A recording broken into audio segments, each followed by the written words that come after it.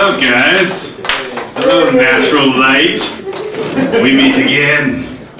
I don't know. I don't like doing comedy at natural light. It's very unnerving. You gotta, you gotta get a curtain for the five window. It's scaring me. What's up, guys? I was gonna lead off with all my my drug ad jokes, but Brad pretty much covered that. Let's dive right into something else. Um, oh, I'm nervous because uh, tomorrow I'm going to get my hair cut. As you can see, it's getting pretty out of control up here. Gotta, get a high and tight for the summer. But uh, I'm always kind of nervous because I've been to this place three times. It's Floyd's on Melrose. And the first two times I went there, I got a gay guy, and I got a pretty good haircut. And the last time I went, I got a straight guy, and I got like the worst fucking haircut ever. So I don't, I don't want to sound like a sexual orientationalist. but the results speak for themselves. And, and the last time I went, like in the middle of the haircut, like I realized it, I was like, oh my god, I think this guy might be straight. I was like looking how bad it was. So I tried to like feel him out. I was like, so, uh, baseball. but I like, didn't know anything about baseball, so like, I didn't know what to say. And he was like, yeah, I don't really like baseball. I was like, okay, okay, you win this round, hairdresser. I was like, all right, let's go deeper. Uh, so I just saw Iron Man. That movie kicks ass, right? And he was like, no, I don't really, I don't really like that kind of movie. So I was like, doesn't like sports, doesn't like action movies, looking good, looking good. This guy's probably gay. I sang that in my head. Then I was like, all right, let's close the deal. Let's get some definitive thing. So I was like, uh, so yeah, like all the guys that work there are all like spiky hair and pierced and tattoos because they're like cool. So I was like, I was like, oh, nice tattoos. I bet the ladies like that. And he was like, yeah, I guess. My girlfriend likes it. I was like, oh. In my head, I was like, damn it. And then he just gave me a terrible haircut. maybe because he was straight, or maybe because he was like, why is this guy trying to figure out I'm gay the whole time? This guy's a dick. I'm giving this fucker the worst haircut ever. So I don't know. It was one of the two. I'm, I'm nervous, so we'll see how that goes. But something cool did happen. Last weekend, uh, someone recognized me on the street from doing stand-up. It was like the first time it's ever happened to me. It was pretty fucking cool. Was I worked down at this bar in Venice on weekends to, you know, augment my sizable comedian salary. And when I say sizable comedian salary, I of course mean occasional free beers. And when I say occasional, I of course mean infrequent. Uh, no, but so I was working behind the bar, and this guy comes up to the bar, he's like, "Hey, Top Gun, it's really gay, right?" I was like, I was like, what? And I didn't realize he was talking about this joke I used to do like months ago about how like when you're little you think Top Gun's like the coolest movie ever, and then you see it when you're 20 and you're like, this is the gayest shit of all time. But like I totally forgot about that because it was like five months ago. So like I didn't know what he was talking about. I was like, yeah, I, I guess it is that volleyball scene. But like, I thought he was just drunk. I was like ready to motion to the bouncer like, take, take him out.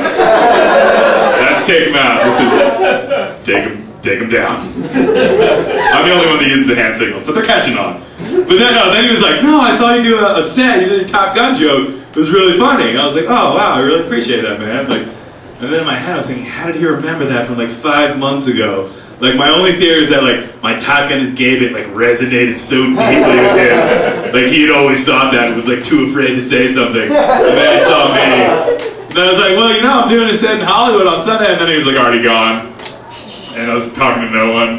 And then like two hours later, I saw him just like fucking hammered, like grinding this chick up against the wall. I was like, that guy's a fan of my comedy.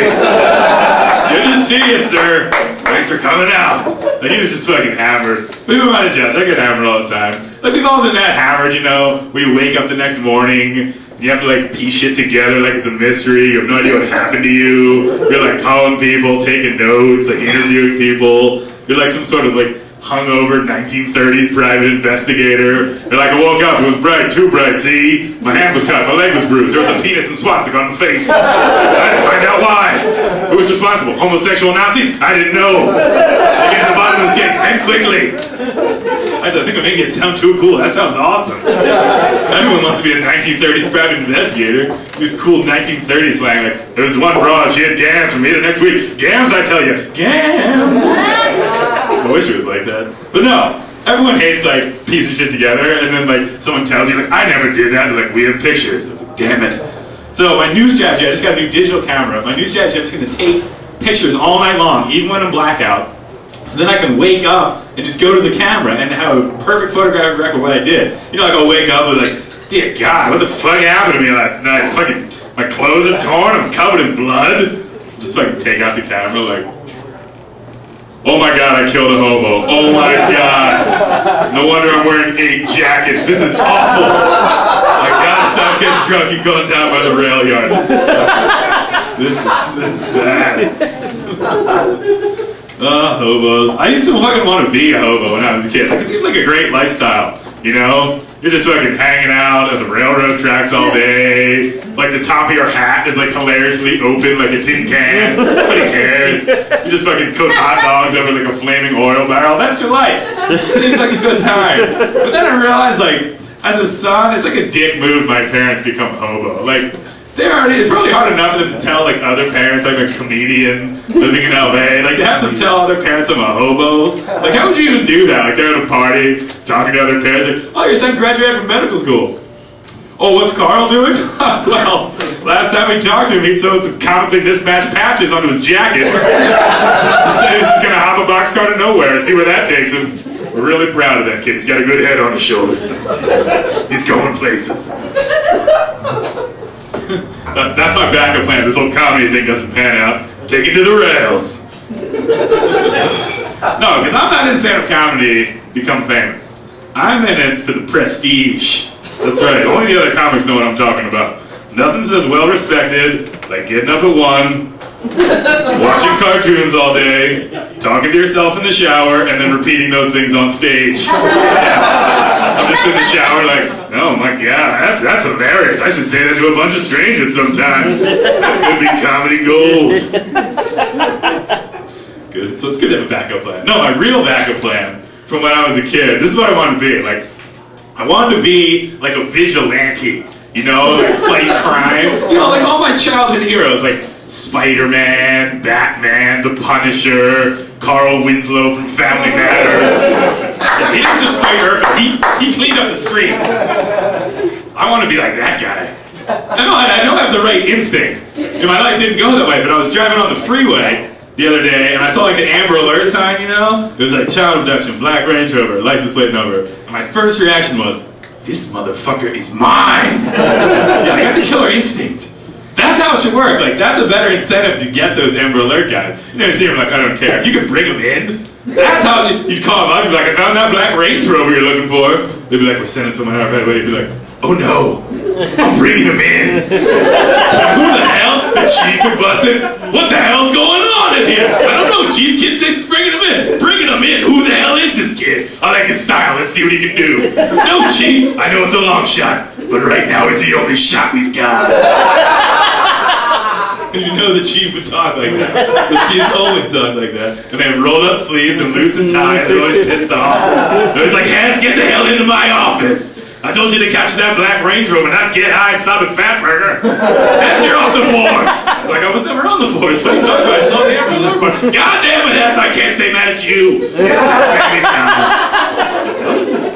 But that's maybe good. Doesn't make any sense. Ah, the chief. No, what I really wanted to be as a kid, like, you know, like all normal, red-blooded, non-communist children. I wanted to be a superhero. That's pretty standard, pretty standard childhood dream. And, uh, you know, I knew I didn't have any powers, because, you know, I tested, I tested it out. But uh, I had a really good plan. This was my plan as a kid, to get superpowers. I was just like, I'm just gonna go to a place where there's a lot of radioactive shit and just be really reckless and hope for the best. It's like, oh, what is that, crack orb nuclear reactor? Hopefully that doesn't get all over me, possibly giving me superpowers. You have to eat some. You have to eat some. It would be part of it. And then, like, to make sure you got cool powers, you'd, like, bring some like cool animals whose powers you wanted and be like, oh, what is that, uh, nuclear waste stuff? Hopefully this wolf and cheetah I brought don't get into there. Possibly becoming radioactive. Get in there, motherfucker. Be awesome. I'd have the, the speed of a wolf and the speed of a cheetah. Alright guys, that's it for me. Thanks.